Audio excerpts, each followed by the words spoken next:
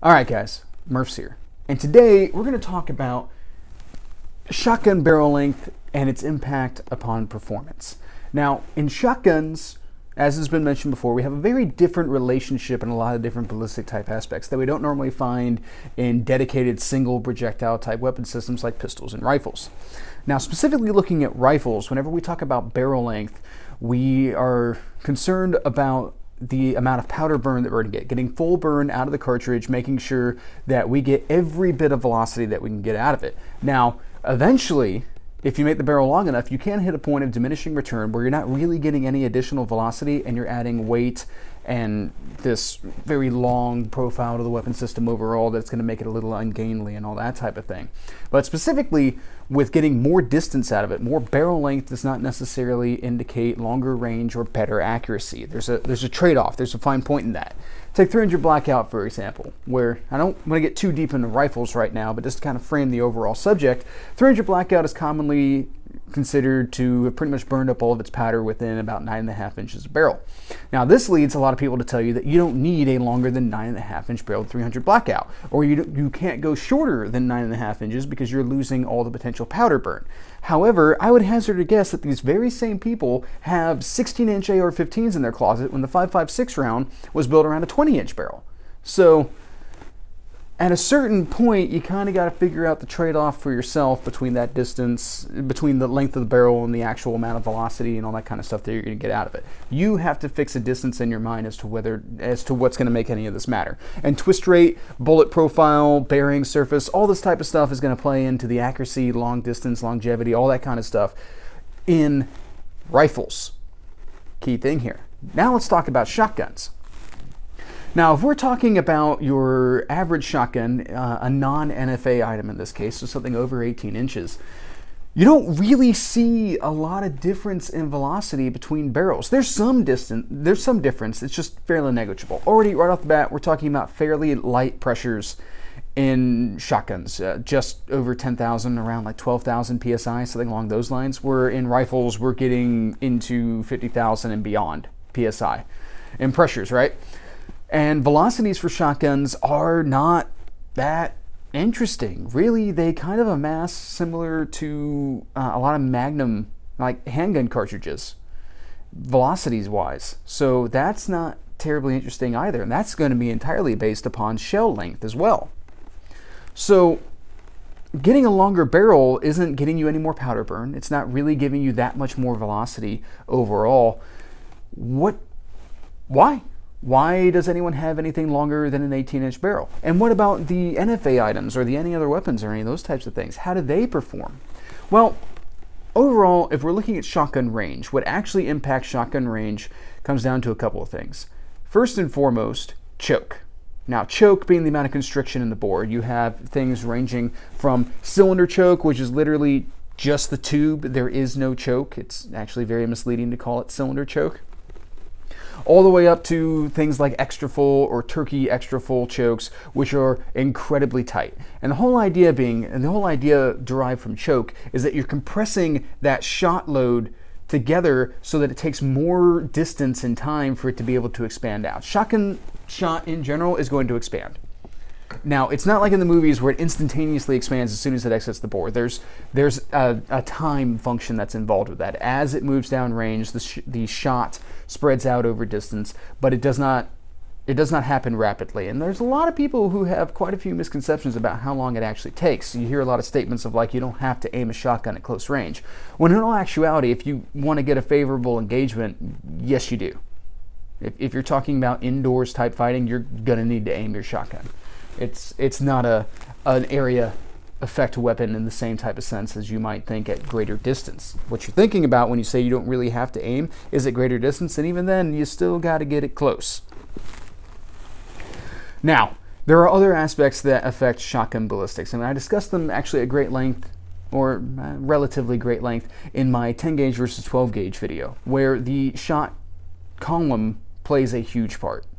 That is going to give you a front to the shot cloud, as I refer to it, moving down range. Now, for those of you who don't fully understand what I mean when I say cloud, a shotgun pattern overall, that the wave of shot moving through the air has a height, length, and width associated with it. There's there's multiple. There's three dimensions overall to this this shot pattern that's moving down range, and length of shell is going to impact the length aspect of it.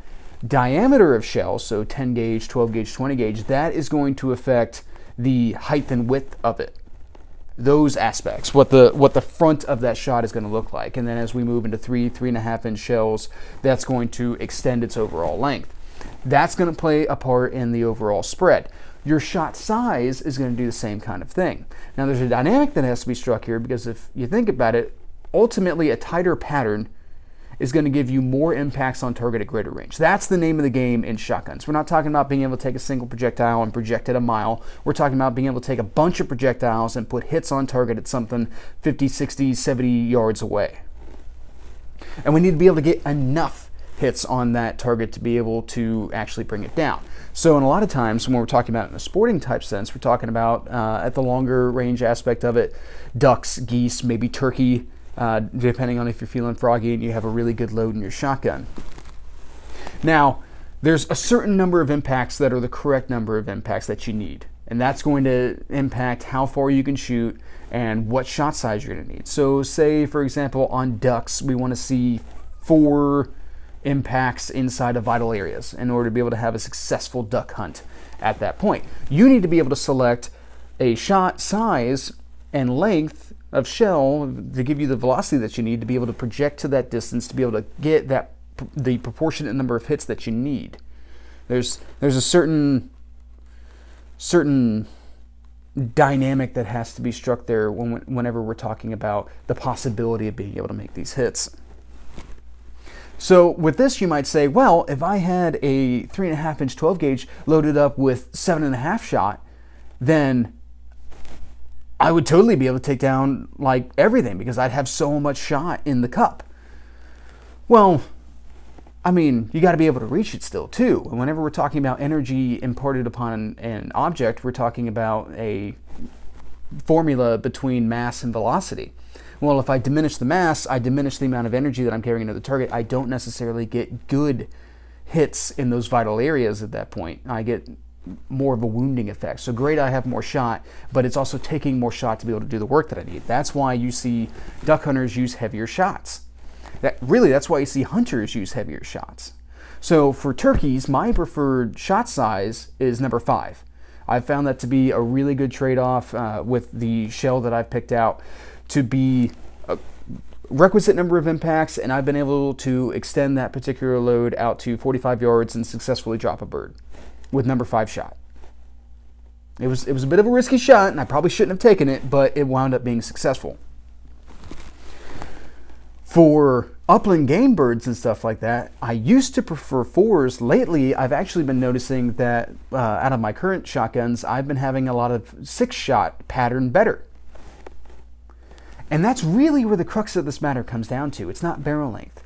It, it plays into choke, but really your shot your, your shell selection at this point is what's going to determine whether or not you have the proportionate number of hits that are going to be required to be able to take that animal down at the distance that you plan on engaging at.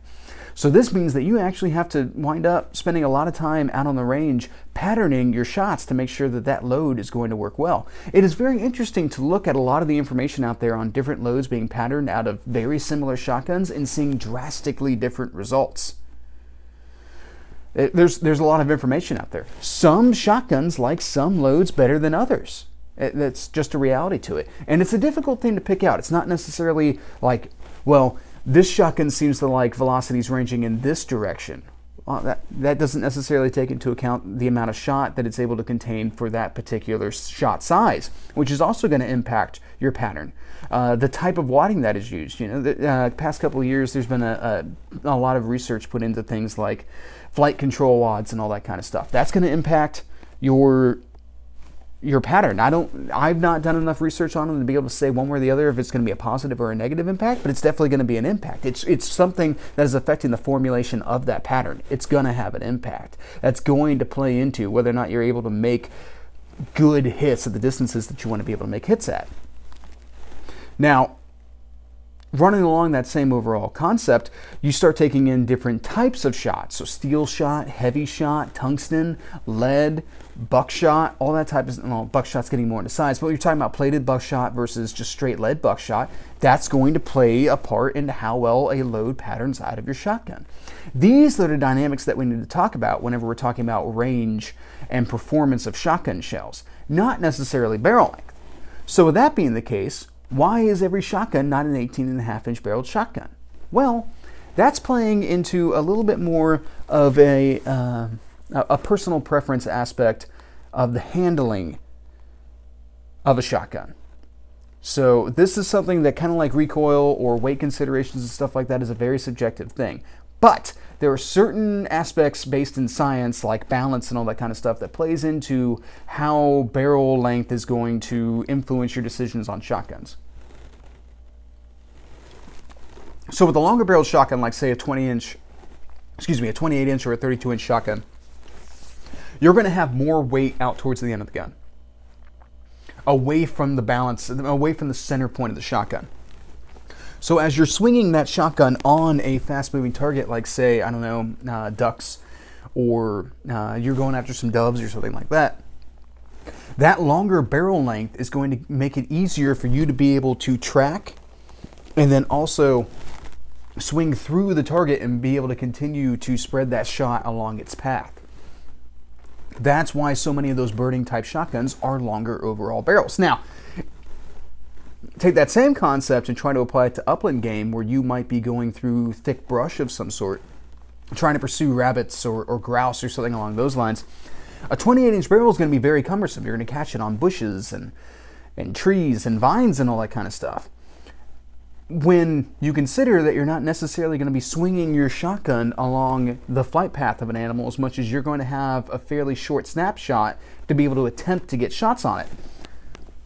At this point, a shorter barrel is going to be a lot more successful for you overall. It's going to be easier for you to be able to get that shot up there and kind of do a little bit more point type shooting, where now we have more of the weight on those shorter barrels coming back towards the stock, which makes maneuvering for point type shooting a little bit easier. Same with like turkeys and stuff like that. Same overall kind of concept. Having that shorter barrel, a little more weight towards you allows you to better be able to orient and point that shotgun at the target. Also, that works out in home defense type situations. If you've actually, let's say that, you know, I myself, I have no children. So if somebody breaks in my house, I can go ahead and barricade myself, call the police, and then if anyone tries to come through the door, I can lay them out cold. And I can use a longer shotgun for that because it doesn't matter. I am not maneuvering to my opponent. Now, if you had kids or other family members in the home, and if in the case of a home invasion, you were going to have to secure them and make sure that they were safe, you don't have that same consideration. At that point, you need a shorter weapon system, a shorter barrel length of shotgun. This is where we get into the 18 and below lengths of shotgun become much more advantageous to you at that point. Now, as we get to the shorter end of the spectrum overall, we do start to have an effect on the actual spread, especially when we get down into the SBS short barrel shotgun or kind of the any other weapon type category we really start to play with the dynamic of not really being able to put a choke into the gun, which means that we're pretty much working with improved cylinder, and we're also going to have a negative impact on how tight, how much time the shot has to kind of be able to range itself before it's exiting out of the bore, and it's generally going to have a fairly open pattern at that point. But those weapon systems are meant for close range stuff. And in the case of the super shorties, you're primarily talking about breaching and not so much of a defensive weapon at that point. Or when we're talking about defensive weapon, we were talking about like a get off me gun, which a extremely short barrel shotgun would not be my choice for that overall. Personally, you know, to each their own. You guys do whatever you feel comfortable with, but that would not be my selection personally. So, Huh. I think we pretty much hit all the high points on that, guys. This was a uh, this is a fairly short video overall. So I hope you guys found this interesting. I, I remember growing up and kind of being of the opinion that barrel length had some sort of impact on distance, and that's why we use longer barrels to hunt like grouse, or not grouse, but like ducks and all that kind of stuff. But in all reality, as long as the shotgun swings through, you can pick a shorter gun You, you can go shorter if you want to. You don't have to use 32 inch length shotgun shotguns to be able to to hunt birds up in the sky. You just gotta it's a handling aspect, and that's a very subjective thing overall. Now, if someone really pressed me and said, "Hey, you have to pick one barrel length. What's the mo- What's the best all around?" One of the issues, guys, whenever you try to be a jack of all trades, is that you're a master of none. So, like a 22 to 24 inch barrel might be extremely handy and capable of being able to go from sitting out in the field trying to pass shoot geese to trying to negotiate through heavy brush to be able to go after rabbits. It's not going to do either of those very well as well as home defense type stuff. If you have to pie corners and stuff like that, I would prefer to not do it with a 24 inch barrel shotgun. So, in shotguns, really the best answer if you're trying to have a do all type setup is to have multiple barrels, if I'm being completely honest. All right, guys, that actually covers all my thoughts on this particular subject. I hope you guys found this useful and have a good day.